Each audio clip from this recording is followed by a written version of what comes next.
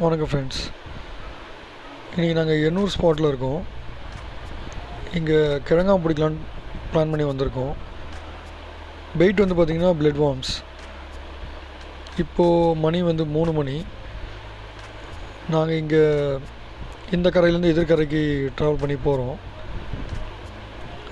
அங்கேருந்து ஒரு மூணு டு நாலு மணி வரைக்கும் இங்கே அடித்து பார்க்கலான்னு இருக்கோம். சப்போஸ் மீன் கிடைக்கல அப்படின்னா சாயந்தரம் ஆறு மணிக்கு பிளான் பண்ணலான்னு இருக்கோம் ஏன்னா ஈவினிங்கில் நல்லா கிழங்காக கிடைக்கும். இந்த பிளட் வார்ம்ஸ் பாருங்கள் ரொம்ப ஃப்ரெஷ்ஷாக இருக்குது இதுக்கு வந்து நாங்கள் யூஸ் பண்ண ஹூக் சைஸ் வந்து பார்த்திங்கன்னா டுவெண்ட்டி ஒரு லைனில் வந்து ரெண்டு ஹூக் இருக்க மாதிரி போட்டிருக்கோம். ஃபஸ்ட்டு இந்த டைமில் வந்து இந்த கரையில் நாங்கள் போட்டு பார்த்தோம். கெளுத்தி தான் மாட்டிச்சு. அதனால் நாங்கள் இங்கே பிடிக்கல மீன் பிடிக்கல. சரி என்ன பண்ணலான்னு பிளான் பண்ணிவிட்டு அந்த ஐலாண்ட் மாரி இருக்க இடத்துல வலை போட்டு மீன்கள் பிடிக்கலாம். ஏன்னா இப்போ வந்து ஹைட் ஸோ மீன்கள் நல்லா மாட்டோம் அப்படின்னு அந்த ஃபிஷர்மேன் சொன்னார். இது ஏற்கனவே நான் போன வீடியோவில் காட்டியிருக்கேன். நெட் ஃபிஷிங் அந்த மாதிரி நாங்கள் அந்த இடத்த கவர் பண்ணி கொஞ்சம் மீன்கள் பிடிச்சோம். அங்கே ஒரு ஒன் ஹவர் டைம் ஸ்பெண்ட் பண்ணோம். த்ரீ டு ஃபோர் கிட்டத்தட்ட ஃபைவ் கேஜி வரைக்கும் நாங்கள் மீன்கள் பிடிச்சோம். அந்த ஃபிஷ்ஷிங் வீடியோவை இப்போ நீங்கள் பார்ப்பீங்க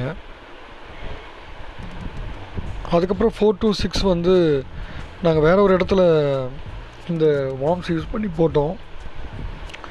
அதில் பார்த்திங்கன்னா ஊடம் இந்த மீன்கள்லாம் கொஞ்சம் கிடச்சிது. அதுவும் நீங்கள் இந்த வீடியோ கண்டினியூவாக பார்த்தீங்கன்னா நீங்கள் பார்க்கலாம் பாருங்கள் நாங்கள் ஒரு சைடு வந்து வலையை போட்டு மீன்கள் வர இடத்த தடுத்துட்டோம். இப்போ அவங்க தண்ணியை தள்ளிட்டே வர இடம் பார்த்திங்கன்னா அவங்க பின்னாடி பார்த்திங்கன்னா அதுக்கு மேலே தண்ணி போகாது. அவ்வளோதான் அது டெட் எண்டு அங்கேருந்து தள்ளிட்டு வர மீன்கள்லாம் பார்த்திங்கன்னா இந்த வலையில் வந்து மாட்டிக்கும். இந்த வலையில் மாட்டுற மீன்கள் தான் இப்போ நீங்கள் பார்க்குறீங்க. இந்த மீன்கள்லாம் துள்ளல் மீன். மில்க் ஃபிஷ் சொல்லுவாங்க. நிறைய மாட்டுச்சு. இதில் பெரிய மீன்கள்லாம் பார்த்திங்கன்னா துள்ளி குதித்து ஓடிடுச்சு.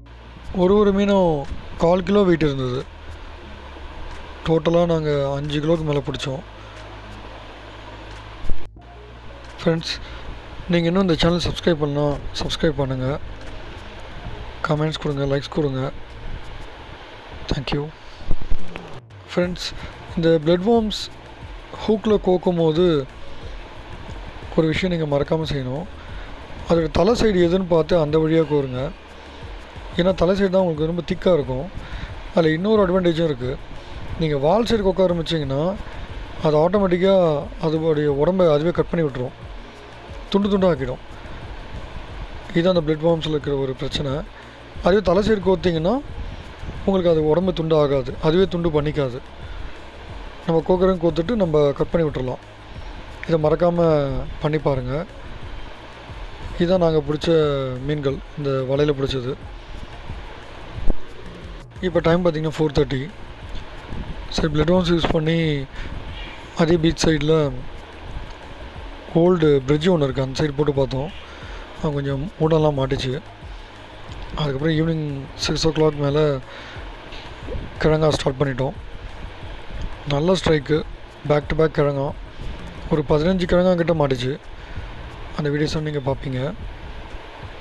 அதுக்கப்புறம் பார்த்திங்கன்னா நல்ல மழை. ஒரு செவன் தேர்ட்டி இருக்கும். மழை ஸ்டார்ட் ஆகிடுச்சு அதனால் நாங்கள் மீன் பிடிக்க ஸ்டாப் பண்ணிவிட்டு அங்கேருந்து வைண்ட் அப் பண்ணிட்டோம். வீடியோஸ் கண்டினியூவாக பாருங்கள்